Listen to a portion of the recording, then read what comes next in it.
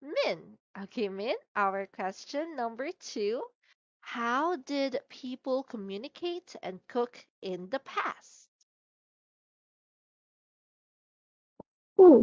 Uh, in the past, they communicate by writing letters Mhm. and send to the others. Hmm. And for cooking, I think they have to use wood and they have to collect them and burn them up to cook their food to eat. That's true. So there's a lot of work before when they want to cook, right? So they need to collect and then burn it up. Thank you so much for your answer, Min. I'll also give you two trophies. Now, for our last question, this will be for Fong. Okay, Fong, do you like means of communication and cooking in the past? Why or why not? think I don't like means of communication and cooking in the past because I think it's not. Uh, I think because it's very inconvenient. Mm. Um, That's right. It's very inconvenient. Do you want to add uh, more, I think every time it feels like a waste of time. That is also true, right? Thank you so much, Fong, for your answer. I will give you two stars for that as well. Right? So did you see, like what Fong said, it's inconvenient and it will waste a lot of time if we still do the past communication and cooking. Right?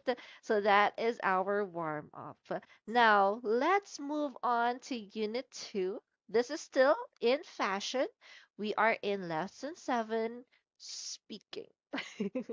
So we are going to speak for today's lesson. So here are our objectives. We are going to employ grammar structure, past simple tense.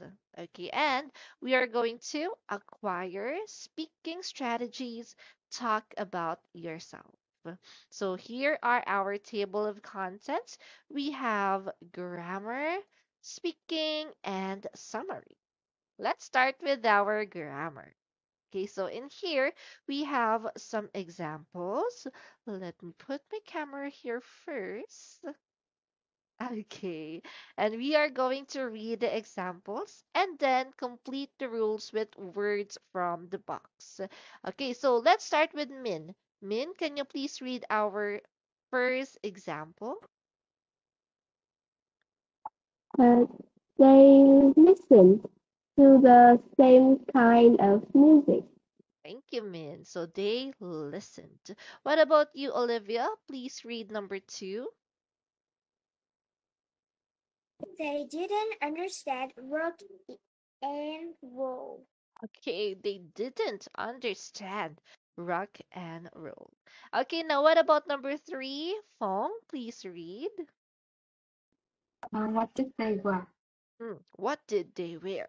Okay, so these are our three examples. Now, let's try to complete the rules with words from the box. Okay, so I'm going to give you authorization so you can move move the words.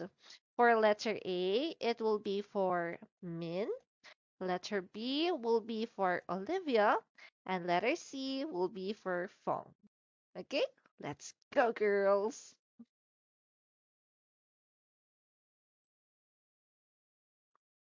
Wow, okay. So let's see our rules for tonight.